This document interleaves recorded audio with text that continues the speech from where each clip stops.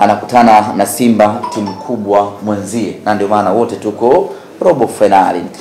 Eh, mikakati ya ki, ya kiufundi mtaalamu wetu Pablo Franco Martin akisaidiana na mtaalamu mwenzie Selemani Matola eh, wameingia rasmi kambini hii leo kuanza maandalizi ya kujiandaa na mchezo huu.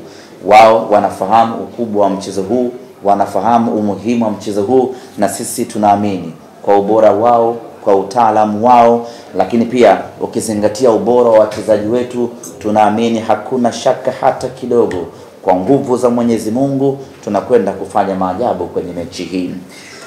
Eh, ameuliza inawezekana mmeweka nguvu zaidi CAF kuliko ligi ya nyumbani. Ukweli ni kwamba eh, kila kitu ni muhimu kwa wakati wake. Kwa sasa hivi sisi wana Simba, kilicho muhimu kwetu sisi ni robo fainali ya kombe la shirikisho Afrika. Jana jana mida kama hii, kilichokuwa muhimu kwetu ilikuwa ni mchezo wetu dhidi ya Polisi Tanzania. Tumeshaumaliza, tumeshamalizana na Polisi Tanzania. Akili yetu yote sasa inaelekea kwenye mechi yetu hii ya robo fainali. Kila mashindano ni muhimu kulingana na muda wake. Kwa hiyo kwa hivi sasa ukiniuliza kitu gani muhimu kwa wanasimba, nitakwambia ni robo fainali dhidi ya Orlando. Ungeniuliza jana, ningekwambia ni mechi dhidi ya Polisi Tanzania.